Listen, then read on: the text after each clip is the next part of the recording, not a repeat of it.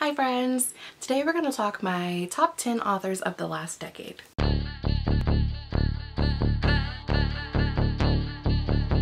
Technically, I have 10 of my top authors and then 5 I'm calling honorable mentions that are authors that I really loved the books that I've read but I've only read one or two so I don't feel like I can call them like a favorite of the decade quite yet. But it's probably going to be a long one. I'm actually going to show you the books, ooh, as they fall over, show you the books from those authors that I currently own and have read. So grab some popcorn. It's going to be a long one. I don't really have a method to this madness. I just decided to go alphabetical and uh, that means we're going to start off with Cassie Clare. I have four piles of Cassie Clare books next to me so I'm just to start with the one that's closest. I have the Shadowhunters Codex which is just I literally just bought because it was pretty. I don't know where I'm to put these when I'm done talking about them but back there. And then I have the 10th anniversary editions of both City of Bones and Clockwork Angel. I have the UK cover editions of the Mortal Instruments series. So the these ones, the ones with all the color. These are my UK cover editions. And then also of the Mortal Instruments series, I have the I have the Pretty Spine editions. The paperback ones. I also have the Pretty Spine editions of the Dark Artifices. I have the third one, but my aunt is currently reading it, so I do have all three of those. Please note, I have other Cassie Clare books. These are just the ones that I've read, because I didn't pull out anything I haven't read yet by any of these authors, so. And I have the hardcover editions of the Dark Artifices. Excessive, I know. She says knowing full well she just held up 12 books from the same series. It's fine. I just realized I'm missing books sorry if I moved, I had to go get more books. Um, then I have the Pretty Spine editions of the Infernal Devices. And I also have the Infernal Devices mangas, all three of those. And the first three volumes of the Mortal Instruments graphic novels. Red Scrolls of Magic, The Bane Chronicles, Tales from Shadowhunter Academy, and finally, of Cassie Clare, I have the Magisterium series that is co-written with Holly Black. I think that's 37 Cassie Clare books, maybe. I would consider Cassie as one of my top authors of the last decade, even though I would say for most of these I discovered them later in the decade, probably more like 2014, 2015.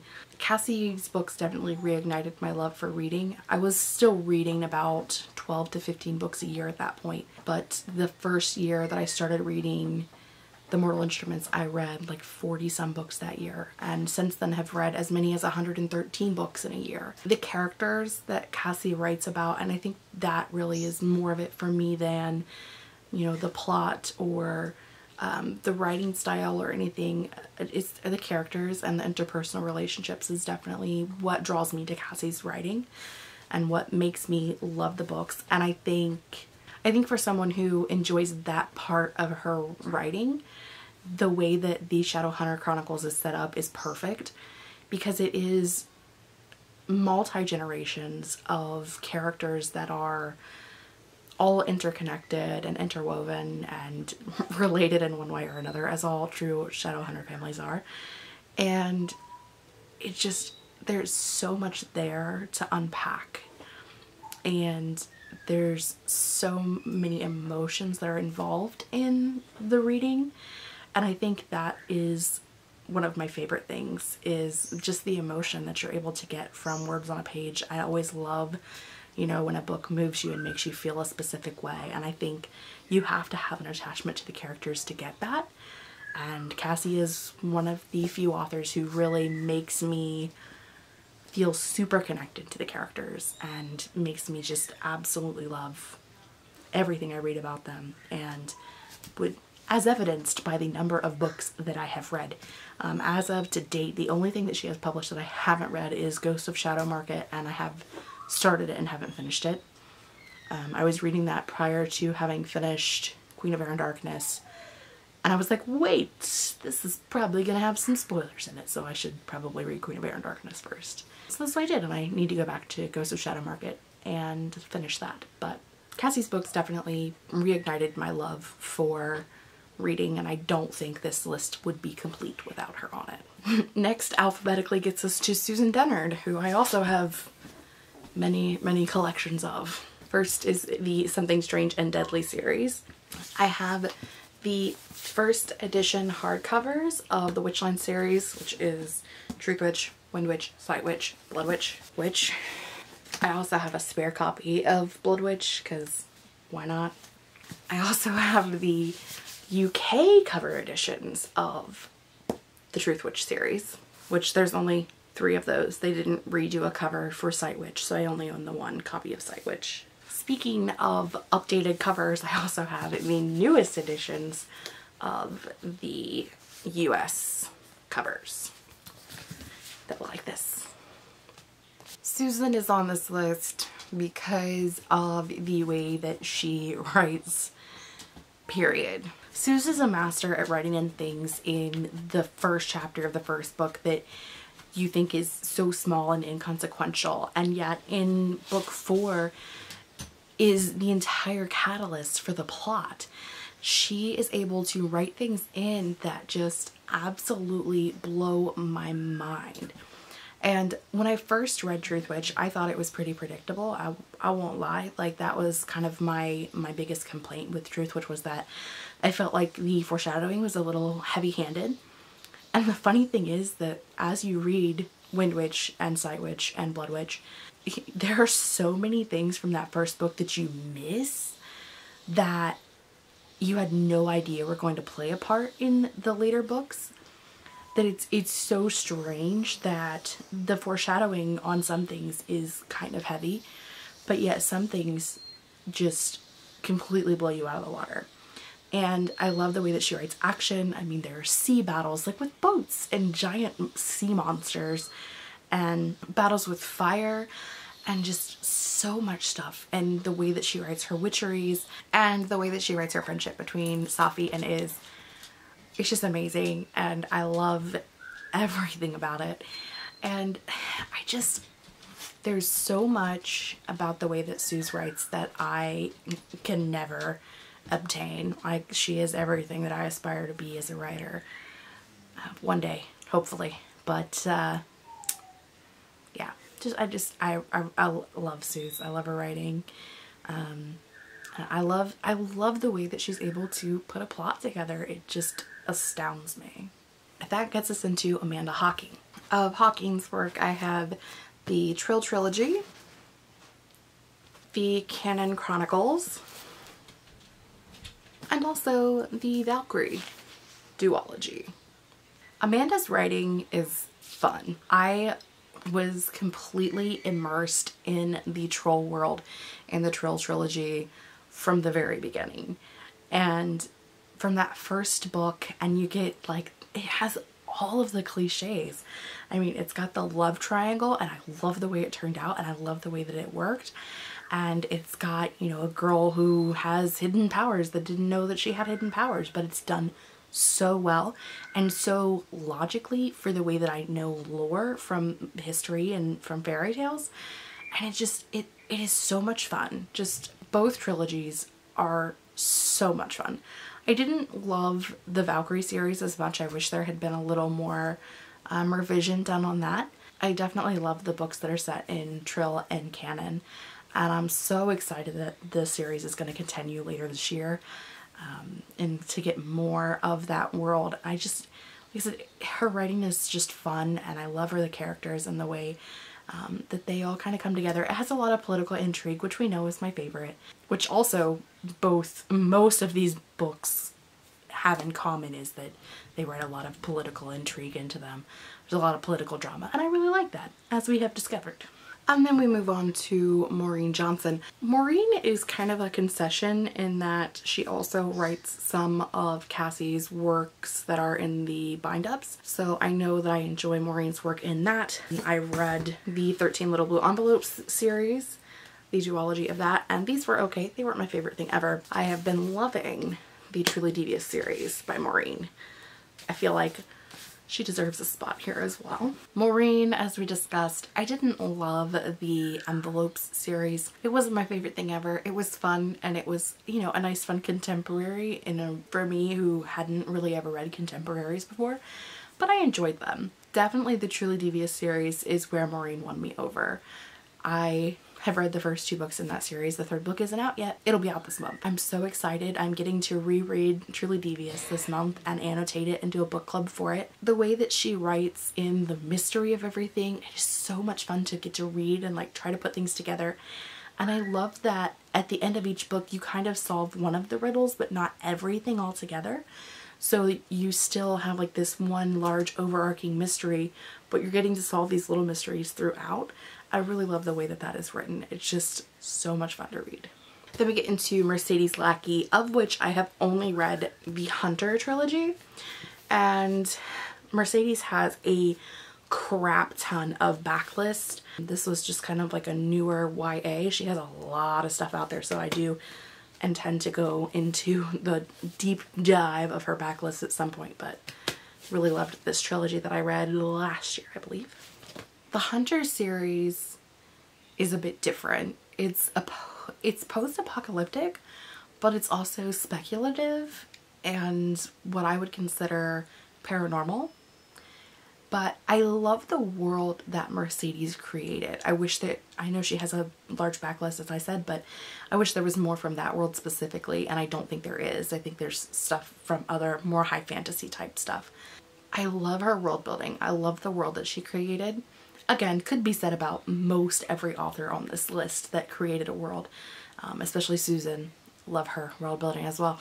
But I love the creatures and the different types of creatures that Mercedes is able to build and the way that she explains them and the way that she explains like which creature attaches to which human and you can tell like by the creature what they're humans it it is so fascinating that me who forgets everything is like able to connect these things together because she explains it so well that it just sticks in my brain and it's there forever. And I thought the books were really emotional. I thought that they were really well done, very high action. Um, just a lot of things in those that I really loved, really enjoyed. And then we get to Kerri Maniscalco, of whom I have read the first three books in the Stalking Jack the Ripper series and loved all three. The Stalking Jack the Ripper series is so much fun. It's historical fiction and I feel like you definitely get that historical fiction feel from it. I haven't read a whole bunch of historical fiction, but I've read enough. And you definitely get that feel about it, but it also has a modern day feel to it as well. I think that, as I have said many times about Audrey Rose, who is the main character of that series, that Kerri wrote her as this person who definitely lives outside of her time. She is a Victorian era girl who belongs in a modern world. And it's really fun to get to read and see how, not how she acts, but how the people around her react to the way that she acts. She's a really fun character to read and to see how things happen. And despite the fact that it's like a Victorian era kind of drama, there's a lot of action in them as well. And I just, I love the mystery aspect and I'm usually able to figure out who the killer is pretty early on, but it's fun to watch the characters get there. That's the thing is like sometimes in a thriller, when you figure out what's going on pretty early, it kind of bums you out for the rest of the story. But I think because so much of these stories aren't necessarily the mystery aspect of it, you're getting the interpersonal relationships and the world building and everything, it makes it kind of fun to watch the characters try to figure out what's going on even though you already know or have a good idea of what's going on. And I really enjoy that about the series as a whole. Um, I need to read the final book in the series. I'm very excited to get to that hopefully this month just because it's just a world that I love and I, I, I, I want to finish it but again I don't want to finish it. That moves us on to Richelle Mead of which I have read the Vampire Academy series. I also have the 10th anniversary edition of Vampire Academy because the cover and the Vampire Academy graphic novels, Um, they only published the first three of these, which is kind of sad because I really enjoyed them. And also the Bloodlines series as well. And finally, Soundless, which is a standalone. Richelle I also credit for revitalizing my love of reading. I found her and Cassie around the same time and much like Cassie have read multiple series from her since then. You know, again, the Vampire Academy series, it's all about the interpersonal relationships, the political aspects of it, and just the drama. They're super fun to read. There's some things in them that's just, you know, there are definite things to take issue with the main love interest is a 16 or 17 year old girl in love with a 24 or 5 year old man. I mean, I get it. It's not perfect. I don't know. It was it was a fun time and I mean, I was reading it in my mid mid 20s, so I mean, it's not like it was affected my teenage years any. I loved it. Uh And I also think that series is really good about kind of teaching you how to deal with grief and loss and tragedy. And even though a lot of things kind of end up within with a happily ever after in most cases. I think it's really good about, you know, teaching you how to deal with the bad parts of life. And I enjoy that. I, I enjoy that it has like the darker side of it and the darker side of things that happen in that world, even though it's not something that's necessarily going to happen in our world because it's supernatural. But her writing is really just something that kind of opens your eyes up to the darker side of things, which is weird because it's the the movie is so bright and happy, but the books are so dark. And I love both of them equally, but for different reasons. And I will also say Soundless is like a whole other world. Literally, it's a whole other world.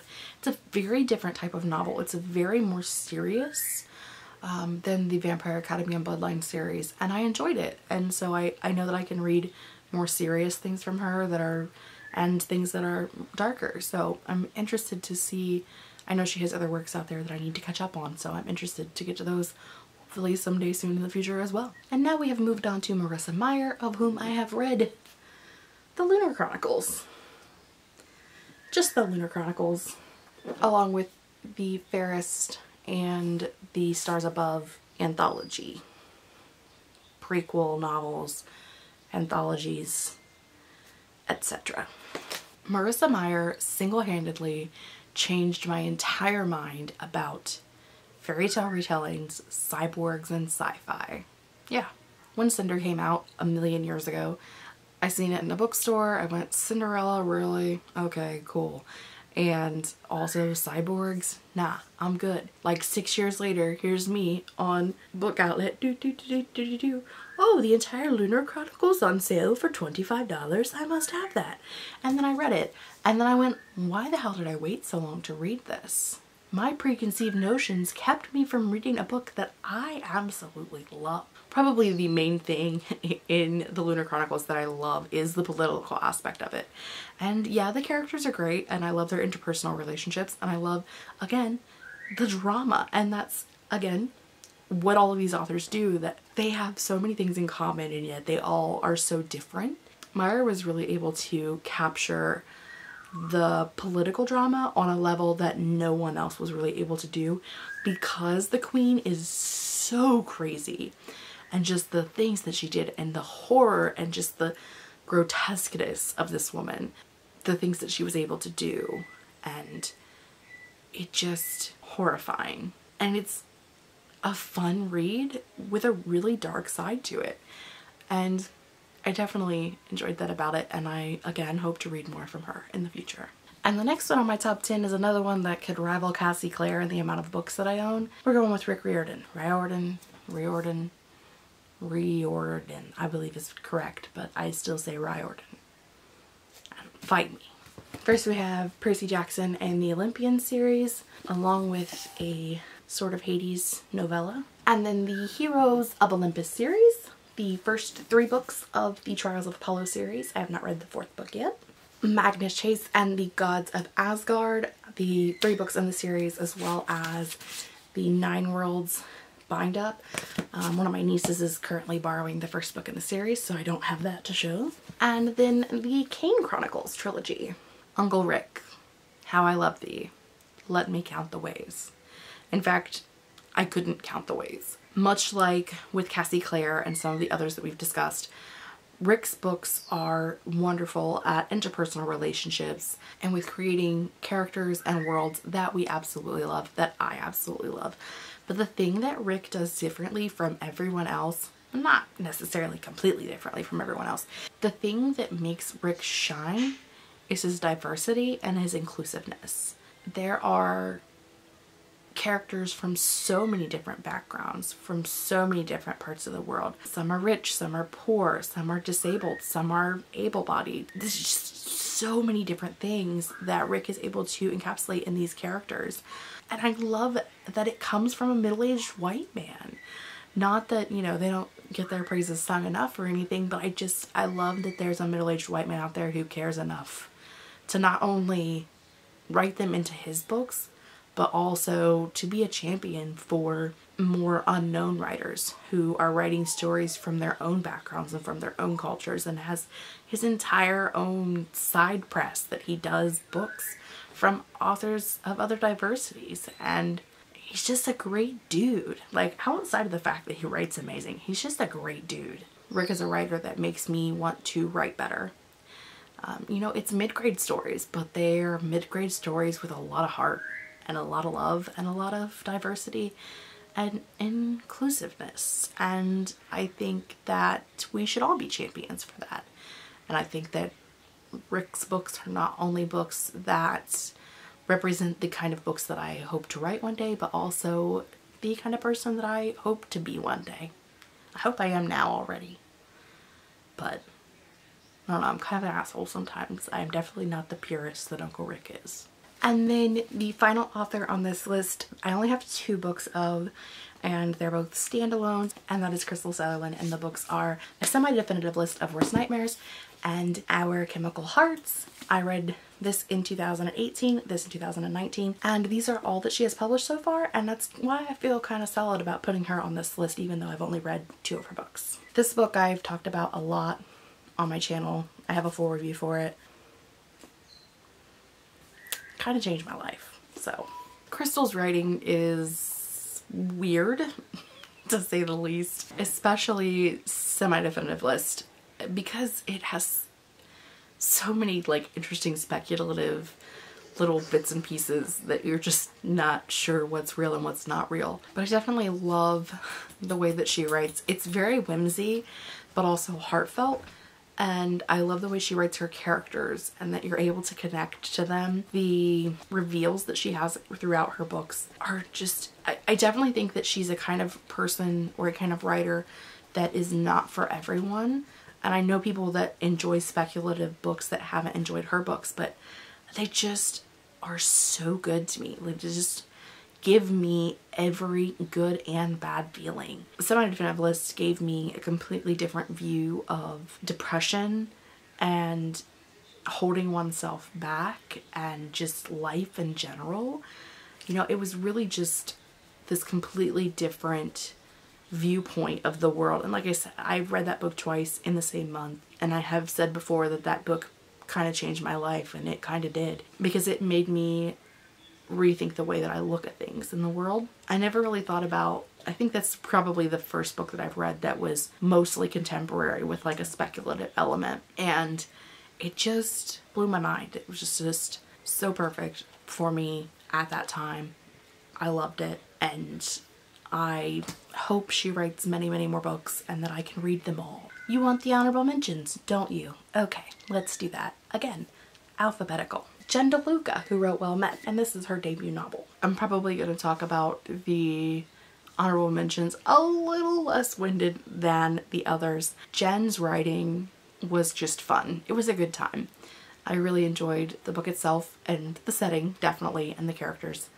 And it was a real fun time. Ashley Elston, who wrote 10 Blind Dates, which I read recently. I don't have that book currently. Uh, my friend is borrowing that, so spreading love. Ashley's book was my only true five star of the entire year. A lot of that is because of the family aspect of it and of the just the pure fun and enjoyment that I had reading that book and I am so excited for the next book that comes out in that series. I have to wait till 2021, but it's totally worth it. And then CC Hunter, who wrote This Heart of Mine. CC Hunter has a large backlist that I hope to get to very soon in the future because I loved this book so much. Obviously, I don't know about the rest of CC Hunter's books, but This Heart of Mine was, it was crazy. It was a wild ride. It just, it's so emotional. Was one of the most emotional books that I've probably read in the last decade. Definitely deserving of a spot in the honorable mentions because of just the way that it made you feel. You know, reading about a teenage girl who knows she doesn't have her whole life ahead of her, who knows that she's going to have these struggles and these issues and things that are going to be going on forever and then the speculative element of it and just it was a damn good book and I loved it. And Angie Thomas who wrote The Hate You Give as well as On the Come Up which I don't know why I didn't grab because I own that one as well. But I loved this one. I didn't love On the Come Up as much so that's why it's kind of more of an honorable mention than in the favorites. I could sing the praises of The Hate You Give from here until the end of time and it could not be enough to tell you how good that book is and I think that everyone out there has pretty much who has read it has discussed the amazingness of that body of work. And I believe that Angie deserves a spot on this list because of just the way that she opened up my mind to a world that I don't have access to. And I just really loved that book and I loved the way that it made me see the world and it changed my viewpoint of the world in ways uh, because it was able to show me things that I can't see in my everyday life. And also in the honorable mention category because I loved one book and okay liked another would be Adrienne Young and I loved Sky in the Deep and I just sort of liked this one which is funny because I don't own a copy of Sky in the Deep so I need to eradicate that issue very soon. Adrienne is on this list simply for the found family elements of her story and for the action. She writes some amazing action scenes that I haven't seen anyone else ever do and they were just a great time to read and gory and full of action, which an action scene should be. And I was really surprised by how much I loved Sky in the Deep. Like I said, I didn't love The Girl the Sea gave back as much, but I definitely enjoyed it and I can see the potential there and I do believe that I will have Adrienne on this list in the next decade if she continues to write. Alright guys, those are my top 10 authors of the last decade as well as my 5 honorable mentions. Let me know in the comments below if you have read any of these authors, if you have 10 favorite authors that you've read in the last decade, or just one or two. Let me know in the comments below what they are. I would love to check out some of your favorites as well as more of my own. If you have made it this far into the video, don't forget that tomorrow I will be doing a live chat on this channel with Kate Kavanaugh. It is our AuthorTube chat for the month of January. We will be talking about planning and we will be announcing the book club pick for January and February and that is at 3 p.m. Eastern Standard Time here on my channel. You can set a reminder. It's already posted. That is all I have for today. I post reading, writing, book, and planner related videos typically on Mondays, Wednesdays, and bonus videos on the weekend. So if you don't want to miss anything I have going on in the future, make sure you subscribe. And until then, I will see you guys next time. Bye!